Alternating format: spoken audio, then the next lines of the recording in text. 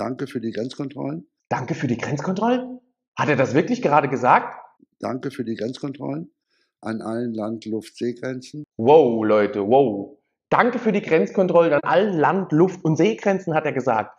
Der Mann ist Präsident der Bundespolizei, derjenigen Polizeiinstitution in diesem Land, die für diese Kontrollen verantwortlich sind. Und damit herzlich willkommen bei Politik mit Kopf. Phänomenal, was manche Leute, ich denke mal kurz vor dem Ruhestand hier auf Pressekonferenzen dann zum Besten geben.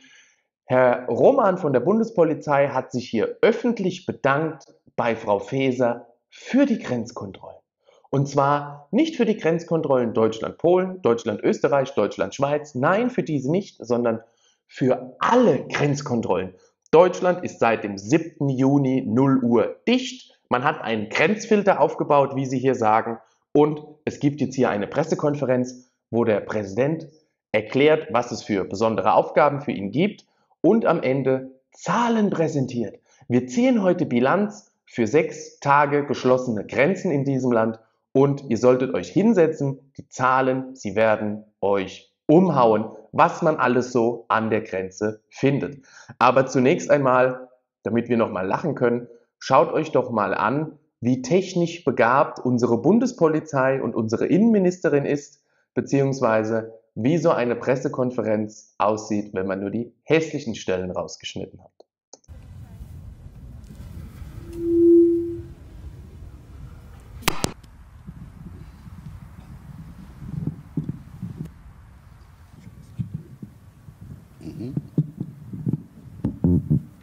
Ja, und diese Leute sind für die Sicherheit in diesem Land verantwortlich. Da fällt einem teilweise nichts mehr dazu ein. Aber Frau Faeser hat hier auch einen Appell, den sollte sie sich vielleicht mal aufschreiben, damit sie ihn morgen nicht vergessen hat.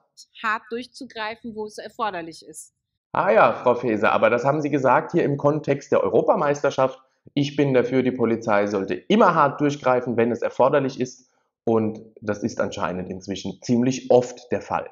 Jetzt geht es hier allerdings los. Dieter Roman, der Präsident der Bundespolizei, er erklärt mal, wie wir es überhaupt schaffen, dass wir so viele Polizeibeamte auf den Straßen haben, wie man denkt, dass es notwendig ist. Wir schicken nämlich sogar unsere Schüler auf die Straße. Alle äh, Anwärterinnen und Anwärter, die in der Ausbildung sind im zweiten Dienstjahr, sind mit an vorderster Front. Wir kehren alle Stäbe aus. Äh, das bringt unglaublich viel Personal für eine gewisse Zeit. Ohne Stabsarbeit geht das in einer Vollzugsbehörde nicht. Aber hier geht das. Habt ihr gehört? Die Polizeischüler im zweiten Jahr, sie werden auch mit rausgeschickt. Das ist mit Sicherheit keine schlechte Idee, aber das zeigt einmal mehr, wie groß die Personalnot ist. Zusätzlich die Urlaubssperre, zusätzlich werden die Einsatzstäbe alle ausgekehrt, dass die Beamten da frei werden für den Dienst draußen. Und die ganze Pressekonferenz hier war auf der Vorstellung der ausländischen Polizeikräfte. Ich äh, lasse das Video hier ab und zu nebenbei mal äh, eingeblendet durchlaufen, dass ihr mal seht, wer da so alles da ist. Sie haben da so eine kleine Fahnenformation gemacht und ein bisschen Musik gespielt. Was mich dann allerdings etwas beunruhigt hat, ist, als ich gesehen habe, dass da die Flagge von Albanien weht. Ja, die nehmen teil an der EM. Und dann habe ich mich nur gefragt, ihr habt ernsthaft albanische Polizisten ins Land geholt, die hier mit Dienstwaffe laufen? Ui, also ist ja auch Polizeibeamter aus dem Land, aber habt ihr euch mal den Korruptionsindex angeschaut für Albanien? Ich finde, das ist jetzt nicht unbedingt die taktisch sinnvollste Idee, aber ja, ich pauschalisiere hier wieder alle albanischen Polizisten als XY. Das habe ich so nicht gesagt. Allerdings finde ich es sehr fragwürdig, dass man hier generell ein albanisches Kontingent ins Land geholt hat, zumindest mit Dienstwaffe. Aber hören wir hier nochmal zu bei Herrn Roman, wie er hier nochmal den Finger in die Wunde legt. 25 Einsatzhundertschaften ins Rennen, zumeist im Inland. Wir bringen darüber hinaus 50 mobile Kontroll- und Überwachungseinheiten im Inland äh, zur Geltung und an der Grenze. Er zählt hier das ganze Material auf, was notwendig ist, beziehungsweise was man äh, in Verkehr bringt. Es sind ungefähr 22.000 Polizisten rund um die Uhr jeden Tag nur von der Bundespolizei im Einsatz. Und er sagt jetzt hier die berühmten Worte an Frau Faeser. Er bedankt sich für die Grenzkontrollen. Danke für die Grenzkontrollen an allen Land-, Luft-, Seegrenzen. Er hat sich hier bedankt. Ob er dafür am Ende seinen Job nehmen muss nach der EM, werden wir sehen. Wie sich das hier anhört, wird wohl der Präsident der Bundespolizei nicht Nein sagen, wenn man sagt, man sollte die Grenzkontrollen verlängern. Er erklärt jetzt auch, wie das Ganze abgelaufen ist. Grenzfilter aufgebaut. Der läuft seit äh, dem 7.6. 0 Uhr. Äh, wir haben jetzt äh, sechs Tage äh, Landluft-Seegrenzen kontrolliert. Und jetzt müsst ihr euch anschnallen. Ich lasse euch das erstmal vorspielen und dann fasse ich das nochmal kurz zusammen. Ihr müsst die Zahlen nicht mitschreiben. Ich blende sie gleich nochmal ein. Ähm, ich kann Ihnen mal sagen, was wir hier äh, festgestellt haben in diesem Zusammenhang. Wir haben 145.000 Personen kontrolliert, dabei 1.170 unerlaubte Einreisen festgestellt. 701 Personen mit einreiseverhindernden und aufenthaltsbeendenden Maßnahmen äh, äh, äh, bezogen. Wir haben alleine an den Grenzen in diesen sechs Tagen 132 offene Haftbefehle vollstreckt und zusätzlich 25 Schleuser festgenommen. Wir haben 79 Personen angetroffen, die trotz äh, äh, negativem Asylverfahren und Wiedereinreisesperre versucht haben, in unser Land zu kommen. Das ist misslungen. misslungen.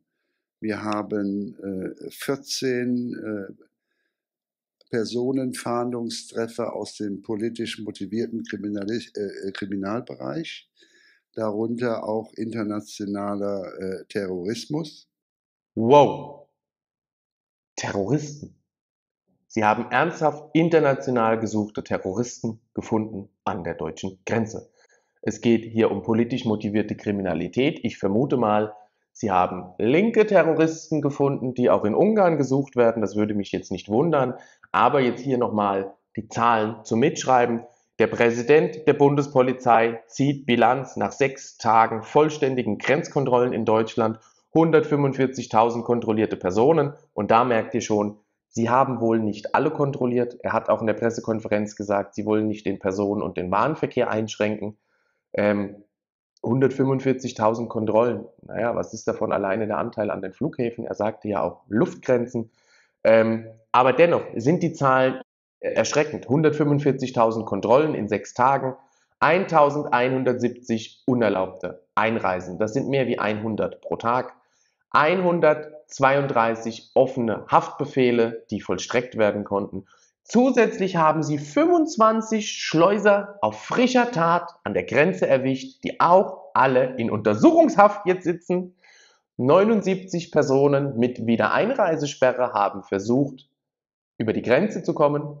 Und es gab hier sogar noch äh, 701 Personen mit einreiseverhindernden Maßnahmen, also die hat man zurückgewiesen an der Grenze. Und die 14 Fahndungstreffer politisch motivierte Kriminalität, darunter auch international gesuchte Terroristen. Das ist die Bilanz nach sechs Tagen Grenzkontrollen in Deutschland.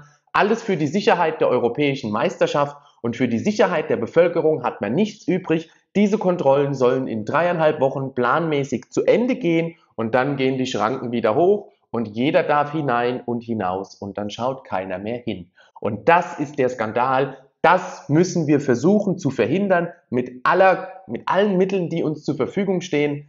Triggert eure Polizeibeamten an, triggert eure Kollegen an. Die Grenzkontrollen, sie müssen bleiben, bis man die europäische Außengrenze gesichert hat, wirklich gesichert hat und sie auch kontrolliert. Dann können nämlich die deutschen Polizisten bei der Frontex dann an der Grenze in Ungarn patrouillieren zum Beispiel oder in Polen an der Grenze zu Belarus. Da, wo man die Leute wirklich aufhalten muss, bevor sie die Europäische Union betreten. Denn der Schengen-Raum, die Freizügigkeit, das ist wirklich eine große Errungenschaft in Europa. Doch die funktioniert nur, wenn wir ganz genau wissen, wer in diesen Schengen-Raum kommt und wer nicht da bleiben darf, den auch wieder verlässt. Da das nicht der Fall ist, müssen wir erst national unsere Grenzen kontrollieren, alles daran hindern, in dieses Land zu kommen und dann dieses Land von Nord bis Süd, von Ost bis West einmal komplett auf links drehen. Eigentlich müssten wir alle einmal personell überprüfen von der Polizei, also quasi einmal quer durchs Land mit einer Polizeikette und jeder, der keinen Aufenthaltstitel hat oder der nicht berechtigt hier ist, direkt mitnehmen. Ja? dass wir überhaupt mal wissen, wie schlimm die Lage ist. Wir schätzen ja immer nur. Ja? Wir wissen, wie viele Asylanträge es im Land gibt, wir wissen, wie viele Grenzübertritte es gibt, die man beobachtet hat, aber keiner weiß, ob am Ende nicht doch 500.000 mehr Leute in diesem Land leben oder nicht. Der Staat hat keine Kenntnisse darüber. Ist ja seine Lieblingsantwort. Und wenn er Kenntnisse hat, ist meistens das Staatswohl gefährdet. Da muss man sich ja totlachen inzwischen. Das Staatswohl ist wohl nur gefährdet, weil die Parteien keine Antworten auf die Fragen der Bevölkerung der aktuellen Zeit haben. Die Grün-Wahlanalyse war Aufschluss genug. Es gibt jetzt hier allerdings noch ein Zitat von unserem Herrn Roman, das möchte ich euch nicht vorenthalten. Das Denglisch bei den Deutschen, das ist wirklich schlimm. Er redet hier von Boots on Ground, Boots on Ground und ich dachte, jetzt kommt es, aber achtet alleine mal auf diese emotionslose Betonung, die hier. Wir bringen Boots on the Ground, so viele wie noch nie. Boots on Ground, so viele wie noch nie. Langweiliger konnte man das nicht sagen und dass er die drei Wörter hinten dran nicht in Englisch konnte, sagt auch viel über die deutsche Polizei aus. Er steht hier immerhin auf der Vorstellung der international zugereisten Polizeibeamten zur Unterstützung der deutschen Polizeikräfte.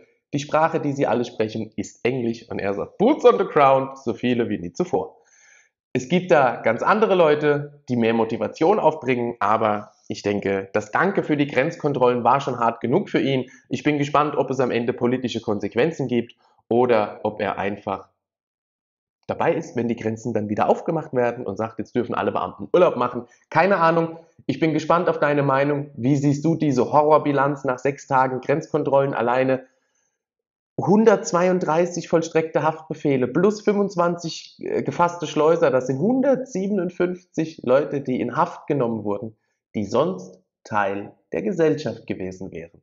Und das, will Frau Faeser uns erzählen, ist nach der EM kein Problem, aber während der EM ist es ein Problem. Und da muss ich sagen, so viele Elefanten, wie da oben im Porzellanschrank gewesen sind, keine Ahnung, wo die alle herkommen, sind vielleicht doch aus Botswana hier eingeflogen worden, die, die 20.000 oder wie viele waren das? Ha, Leute, schreibt mir einen Kommentar unter dieses Video. Ich bin gespannt auf deine Meinung. Abonniere den Kanal, abonniere auch meinen Telegram-Kanal, dann verpasst du keines meiner Videos. Und schau auch mal auf AfD Observer vorbei, falls du diesen Kanal noch nicht kennst. Damit ciao, bis bald.